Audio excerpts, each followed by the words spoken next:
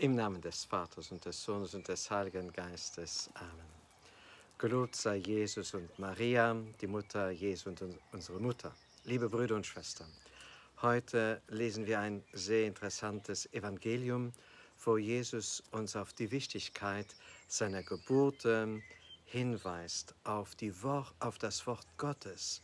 Und Gott hat Gebote gegeben, nicht um uns zu bestrafen, nicht um uns klein zu machen, sondern um uns zum Schutz.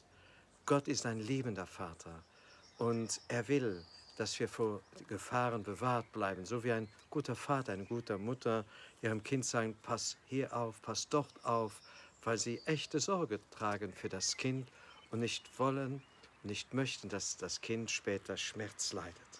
Also Jesus sagt, denkt nicht, ich sei gekommen, um das Gesetz und die Propheten aufzuheben. Ich bin nicht gekommen, um aufzuheben, sondern um zu erfüllen. Dann geht er weiter.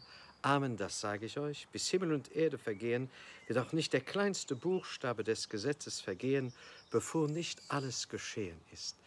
Liebe Brüder, Brüder und Schwestern, diese kleinste Buchstaben, man kann sagen das Jota, aber es gibt noch was anderes in der hebräischen Sprache. Die hebräische Sprache kennt, kennt kaum geschriebene äh, Vokale.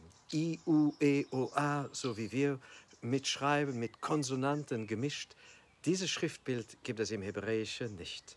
Es gibt nur die Konsonanten. Und man muss schon ein bisschen aufpassen, was das, was jetzt kommt, welches Wort, äh, wie es ausgesprochen wird, wie man es sagt.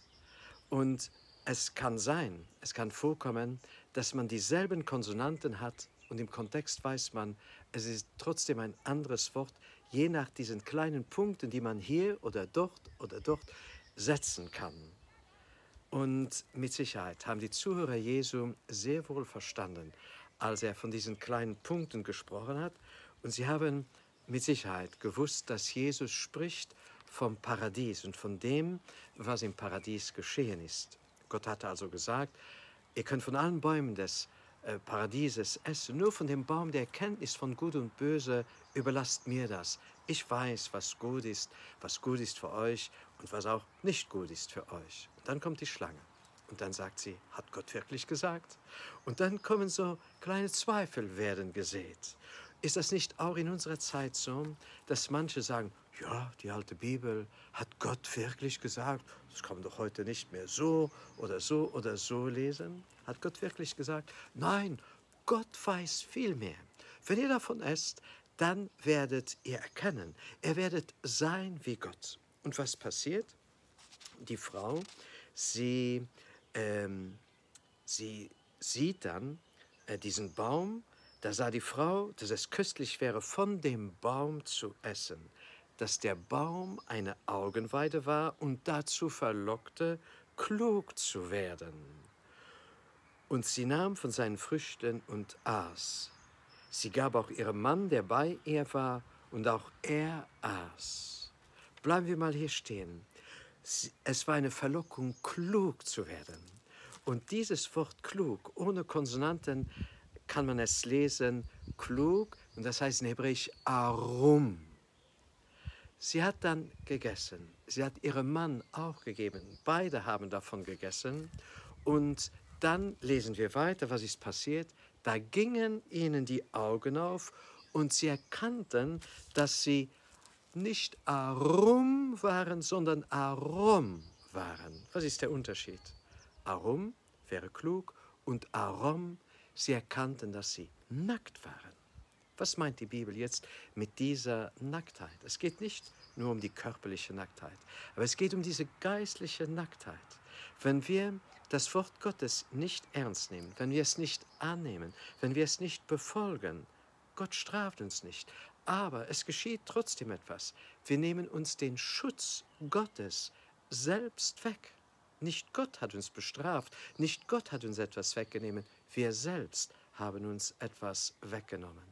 Liebe Brüder und Schwestern, deswegen ist es so wichtig, dass wir das Wort Gottes leben, auch wenn wir es nicht immer verstehen, auch wenn es nicht dem Mainstream entspricht, was die Menschen denken wollen und meinen und so fort. Wie viel wurde schon reformiert an der Heiligen Schrift. Ich würde mich nicht trauen, auch nur eine halbe Viertelseite aus der Heiligen Schrift herauszureißen, außer dann vielleicht ein Kommentar oder ein Vorwort. Aber vom Wort Gottes würde ich nichts wegnehmen wollen. Und die geheime Offenbarung sagt, ja, verflucht ist der, der diesem Wort, diesen Worten etwas wegnimmt oder etwas hinzufügt. Und Jesus mahnt uns. Und Jesus ist so demütig, dass selbst er, Mensch geworden, Mensch gewordener Gott, dass er das Wort Gottes liebt, respektiert und er sagt sogar, meine Speise ist es, den Willen meines Vaters zu tun. Lasst uns dem Herrn danken für jedes Wort, das aus seinem Mund kommt. Lass uns dafür danken, dass er uns auch durch sein Wort schützt, uns Weisung gibt, Rat gibt, dass er uns leitet und führt. Und dazu möge der Herr uns auch heute segnen. Er möge uns vertiefen mit seinem Schutz, mit seiner Liebe. Im Namen des Vaters, des Sohnes und des Heiligen Geistes. Amen. Uns allen einen gesegneten Tag in der Liebe des Herrn.